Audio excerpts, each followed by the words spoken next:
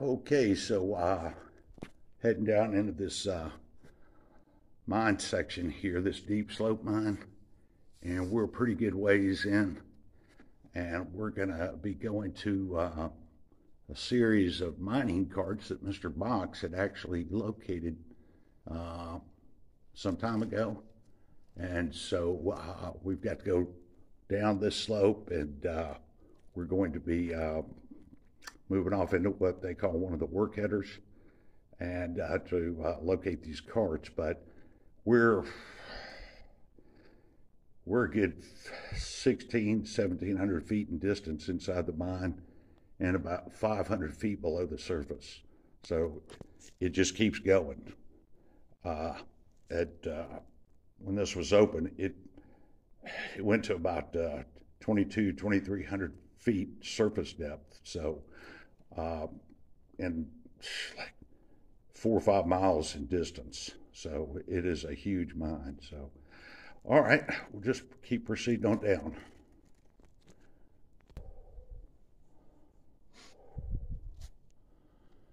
All right, so we have gotten up into this header right here off the slope, which is below. Looking across is uh, one of the other work headers heading back. So you see all this has been underwater for years.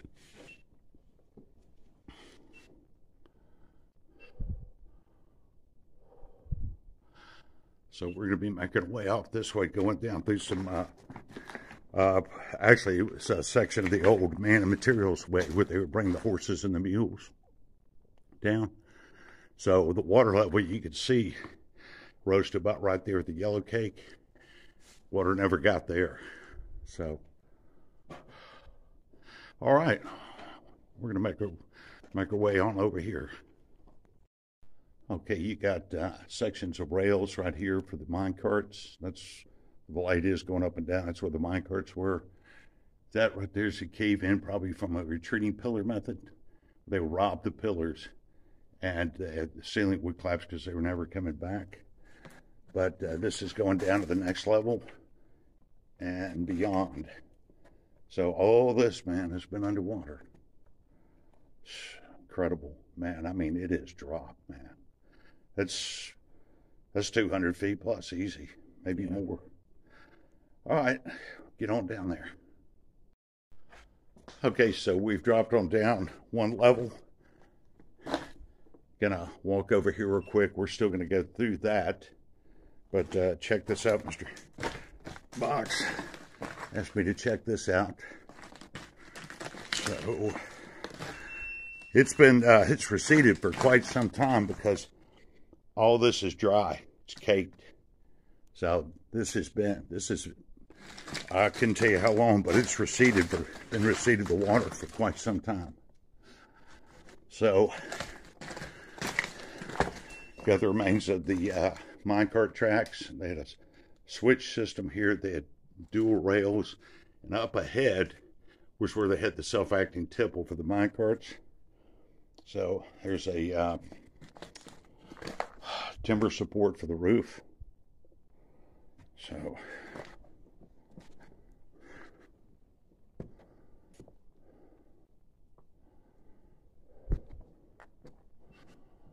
a lot of times you just don't see the rails left intact, but there's just no telling how long the section's been underwater, decades maybe.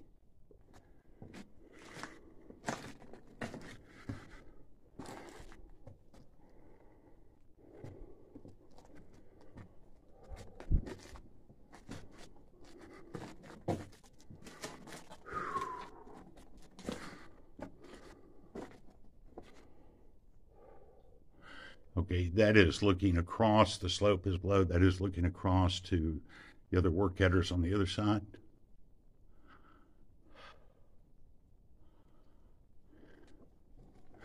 So the self-acting tip would be, would have been right here.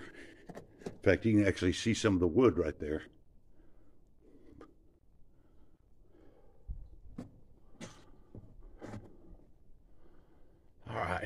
We're going to head back up and rejoin Mr. Box. But uh, outstanding. Okay, we've dropped down into another level, and just ahead are just a huge pile of discarded uh, rails for the mine carts. Remains of, I can't even believe that's standing remains of wooden timber support. Look what I just found. It's like a shot glass or something.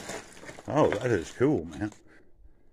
Who knows how old? Well, this goes back to the early 1900s, them working this, so it's probably that old. And just beyond that breakthrough, I think, would be uh, water. But this right here is a track of uh, one of the man and materials way where they would bring the mules and the horses down. So we'll step down here. That's a lot of rails, man. But there's the mine carts just up ahead. Now that that right there is the find of the decade by Mr. Boggs. Oh, look at that. Another that's several of them stacked on top of one another. Oh, there's a good one right there. It looks like a horseshoe. Could be. Wow, it's in good shape. Yeah. Oh, I, I get it. But uh, right there, there's uh, photographs of these mine carts in operation. Going back to the early 1900s, Mr. Box found this.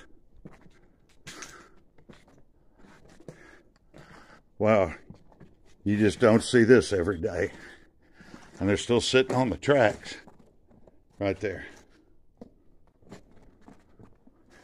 Wow. They, uh, they have, you know, what, about three of these hooked together? Yeah, the the mule the they would pull them.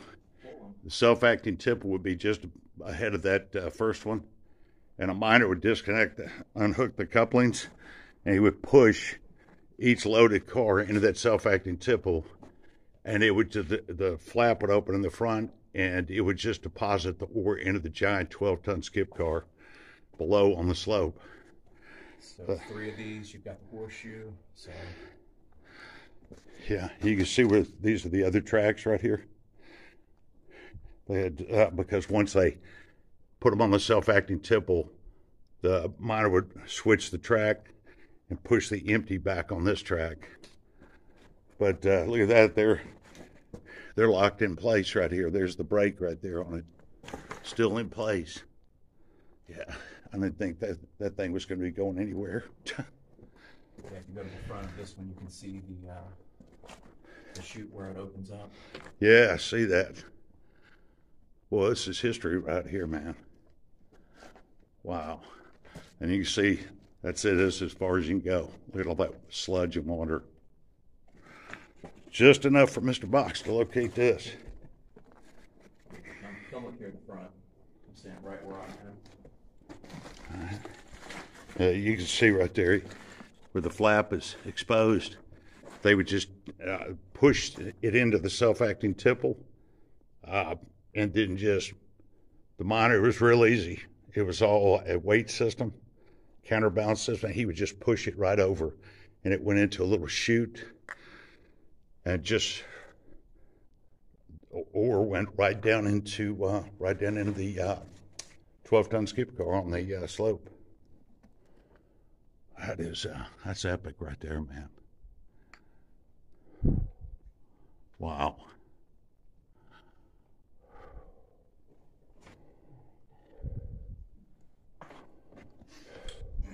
Take my That is some nasty water. yeah. I'll take my lamps out and see where we can place them where it looks best. All right. All right, we're going to explore around here a little bit.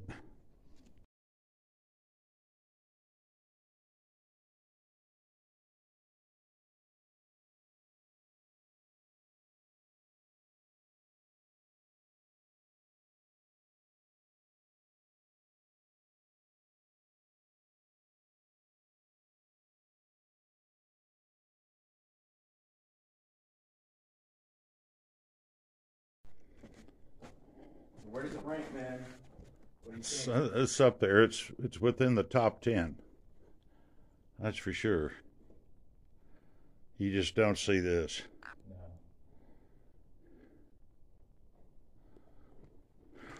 No.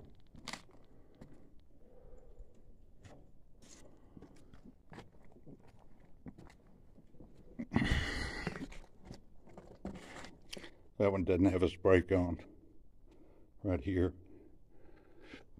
The second one and the first one does.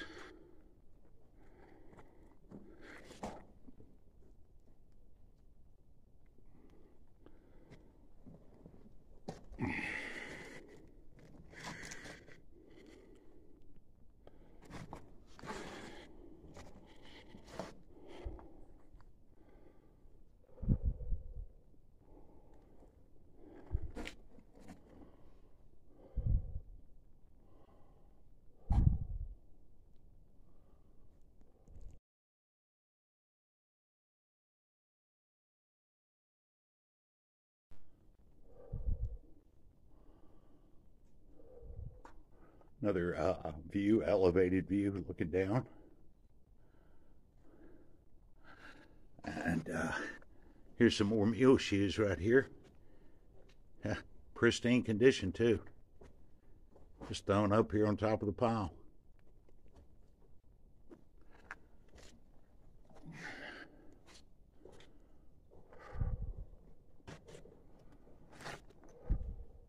All this discarded rail they probably pulled all this rail before those before they did the retreating pillar. That's why they're all stacked up here.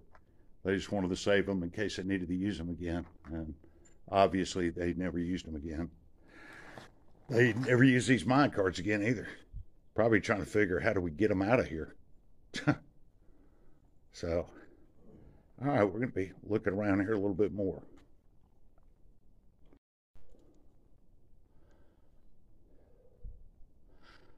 That is just uh, that's incredible.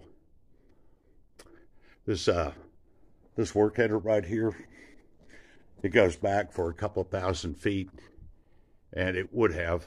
They did a retreating pillar method when they knew they were never coming back here. They would rob the pillars of the you know the valuable ore, and they were so scientific at it that when the ceiling dropped, it would drop in, in an exact location they wanted it to. But this, this particular header would go back roughly 2,000 feet. So mules or horses pulled these out and back and forth, man. So, so they were working this particular uh, section of the mine in the early 1900s, between 1901 to 1910. So, And that's as far as you can go, man.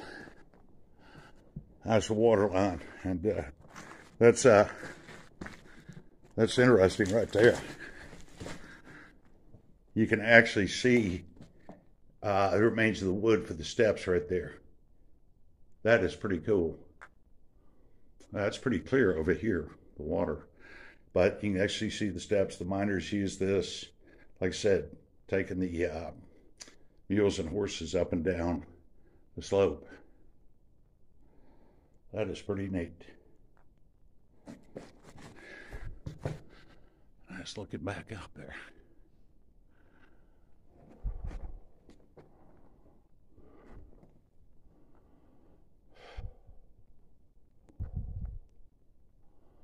Okay, so that's looking back up uh, towards these work headers. This is the main slope. This is another section looking over this way. That's about a good uh, 15, 20 feet up.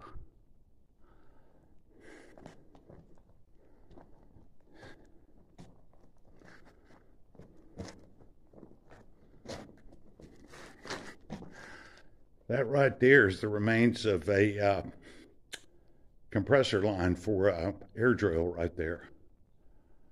Been underwater all this time. Uh, right there, uh, it's for light, right there. So venture down here just a few feet. It's pretty slippery. There is a cable hoist roller shoved off to the side when they removed all the rails when they closed this mine. So just venture down here for a few feet. That's some uh, thick compressor line hose right there, man.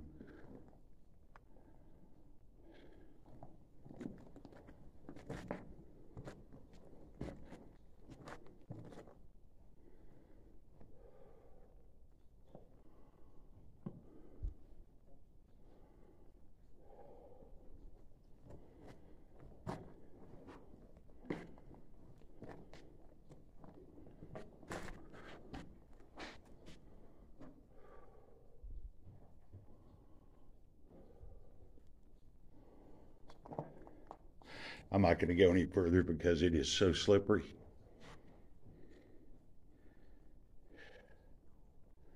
But uh, look at all that. All this has been underwater this whole time. Decades, man. 60 plus years. You can just see the lines right there. That's where the water has risen and fallen and been stationary. Those lines right there. So, well, all right. Start making uh, making way back up the uh, slope here.